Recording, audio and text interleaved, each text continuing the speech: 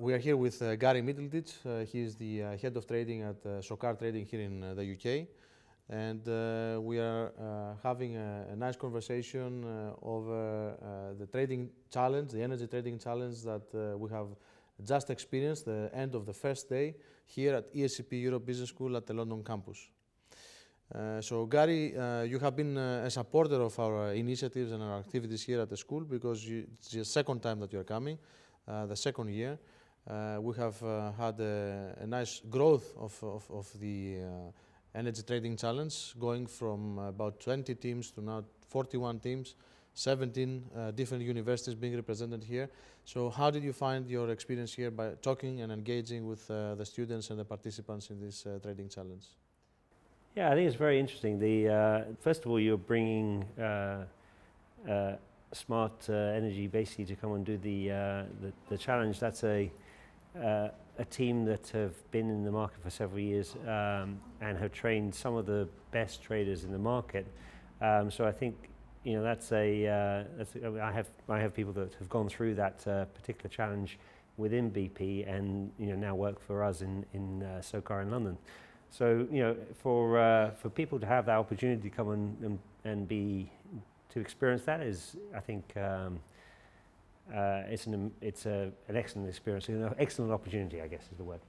Um, the, it's always interesting because, uh, you know, I spend my whole day trading um, uh, crude and trying to work out what's going on in the energy markets and, and, and uh, all markets globally really as a, as a result. Um, but it's very refreshing to come here and see uh, a group of young people who are engaged and interested and want to find out uh, more. The questions that I generally get asked are, uh, are very um, intelligent questions. No, that's surprise, not, not really surprising given the, client, the, the clientele of the, the course. But, um, uh, but I think it stimulates a very good discussion around the, uh, around, around the, uh, the room. Um, so yeah, for me, it's a very interesting experience as well it's a greater environment in London, I guess, uh, during this uh, time period because we are uh, almost at the end of uh, the famous IP week uh, here in London, and that's one of the drivers why we uh, have decided with our partners, as you mentioned earlier, Smart Global Trading, to launch this event here in London at the London campus. Um, there is a lot of excitement, a lot of activity, a lot of business matching and making, I guess, in London. how, how, how do you uh, see the, the markets uh, actually going forward in the short term? I mean, through the discussions and perhaps all the uh, interactions and the analysis that you had already so far. we are at the beginning of 2018. how do you see the markets going forward? So I think the market, well, uh, yeah, it's been a very busy week. There's always lots of uh, uh, meetings and lunches, and actually, it's, you know, it continues. I'm out again tonight, later on tonight, so it's going to, you know, it's, I'm, I'm still not quite through it. Um, uh, look, the, the oil market is incredibly interesting every year. Uh, things are always changing. Things are, the, the market is, uh, there's, there's, there's consist, consistent requirement for change in the energy market to balance the price and balance the, the supply demand of the world. So, you know, it's a fascinating market to be, be, be involved in. Uh, you know, week like this, we get various different opinions from, from all sorts of from traders to trader, from analysts to traders, from banks to traders about you know how the market is going to evolve in the next few years.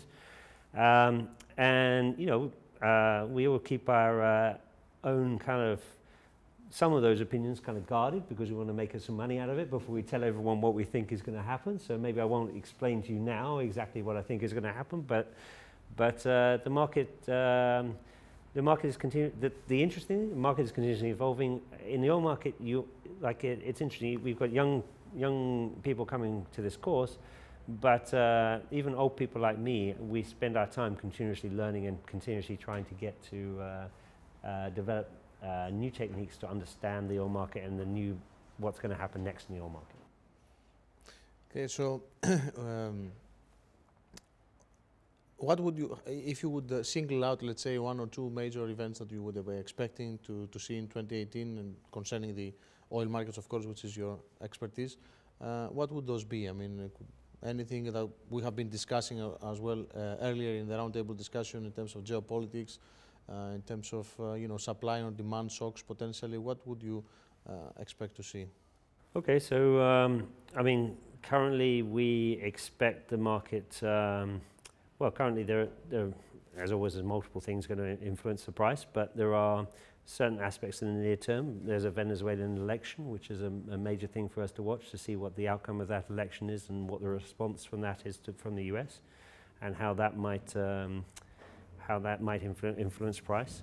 Uh, then we have the constant uh, fluctuation between the uh, increase in capacity supply from the US versus the increase in uh, the increase in demand and the normal fluctuation of within the market between the refinery maintenance programs that go on that, that reduce demand for crude oil versus the uh, supply that comes into the market over the year. So the, there's a, a, multitude of things that are affecting the price. My expectation is is that the prices will rise quite firmly over the over the latter part of this year in the current environment with the current information.